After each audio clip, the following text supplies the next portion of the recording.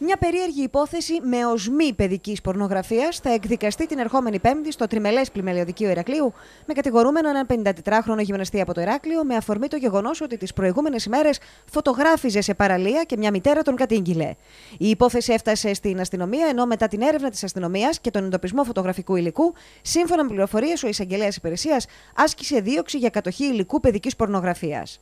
Ο 54χρονο, σύμφωνα με τις ίδιες πηγές, αρνείται οποιαδήποτε κατηγορία, ισχυριζόμενος ότι είναι λάτρης της φωτογραφίας και έχει μέχρι σήμερα εκδώσει φωτογραφικά λευκόματα, ενώ στην παραλία, όταν δέχθηκε την αντίδραση μιας μητέρας για το γεγονός ότι ο ίδιος φωτογράφιζε προς κατεύθυνση που υπήρχαν παιδιά, ο ίδιος διέγραψε αυτοβούλος όλο το υλικό. Η υπόθεση ενώ αρχικά επικεντρώθηκε στη λήψη των φωτογραφιών, οι οποίες διαγράφηκαν και η κατηγορία ήταν για έργο εξύβριση και η σχετική μήνυση της μητέρας, ο εισαγγελέας υπηρεσίας άσκησε δίωξη για κατοχή υλικού παιδικής πορνογραφίας που βρέθηκε και που σύμφωνα με τις ίδιες πηγές από την πλευρά του κατηγορουμένου γυμναστή δεν ήταν σε καμία περίπτωση περιεχόμενο το οποίο σχετίζεται με μια τέτοια κατηγορία.